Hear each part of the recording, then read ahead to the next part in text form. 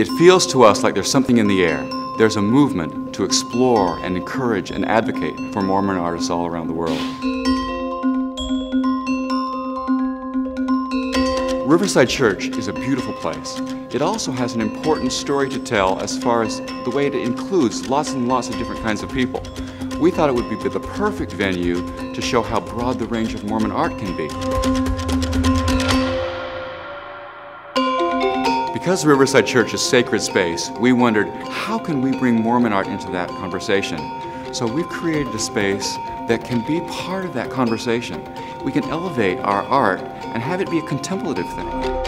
One of the challenges of doing a big exhibition in a space like this is we can't hang art on the walls. So this exhibition was created from the ground up as a standalone exhibition with walls that we built just for these four days.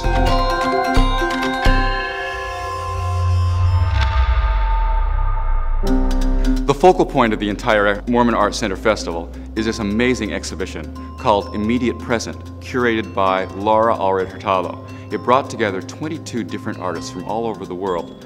With so many artists in the church to choose from, in all the different disciplines, what we tried to do is show as many and as full a range as possible.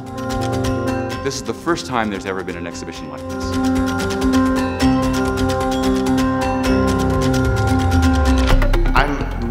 Excited about the Mormon Arts Festival. And one of the things that I find exciting about it is that it's not about an aesthetic, there's no agenda. It's art, music, literature, everything else by Mormon creators. The Mormon Arts Festival is an exciting opportunity to have so many artists come from around the country. The, the genius of this is that it is finally creating a community a wider community than there has been before. We're so dispersed now, it's good to have a gathering place. Mormonism is always about gathering, and I think that it's important for us to have this sort of a gathering place.